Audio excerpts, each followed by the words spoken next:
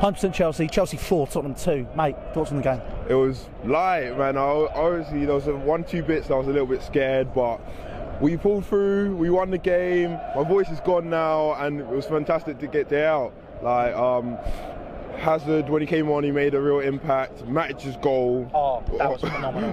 phenomenal. All the competition has to win that. De- definitely, there was no there was no better goal. I've never I haven't seen a better goal in the FA Cup in a couple of years now. Like, um, yeah, it was a fantastic game from um, Willian's free kick. Fantastic way to start the game.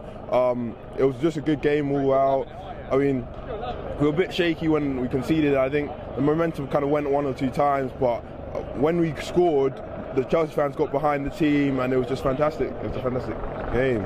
Big, big, big question now. What, where do you think we can go from here? Come on. Are you, are people are saying double, Double, Premier League. double, double. Get up. One hundred percent. I mean, we're winning the league.